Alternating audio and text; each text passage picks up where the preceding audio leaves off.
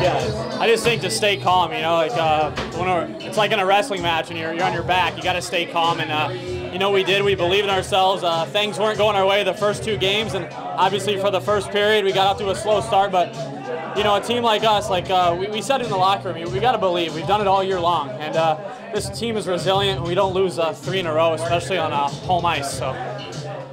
Talk about Mitch's Hurd's uh, first goal because it seemed like the bench just erupted there, and that's really where things started to swing. Hurdsy was our catalyst tonight. He got us going. Um, that goal was huge, and uh, obviously him just going to the net, uh, it got everybody going to the net. You know, he took a big hit there. He's, he's bleeding. He's playing through it. He's chirping.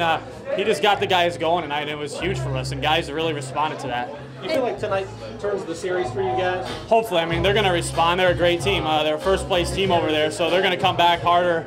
Um, you know, in game four, and uh, we just got to play our game. And uh, you know, we uh, you, you, could tell when we got the puck in their end, that's our best defense, keeping them off the rush. And uh, I thought we did a good job keeping the puck in their end of the ice and kind of tiring them out. And when they did get the puck, they didn't have much offense. So before the game, it set you guys had said that this needed to be a looser game. You guys needed to play and have more fun with it. Do you think getting this win tonight will help you guys do that for game four? absolutely. You know, like uh, you know, uh, what we preach in the locker room is. Uh, you know, we were great all year long, but if, if, if we don't get this win and uh, we don't come back and, and respond to this series, we're, we're not going to be remembered as a, a, great team and character players. And uh, it's important that uh, you know, great great players and character players respond when the when the when it's tough going, and uh, we did a good job responding tonight. And uh, we need the next one though. We, we got to get the next one. We're still in a two-one hole. And we we got to ride this uh, wave here.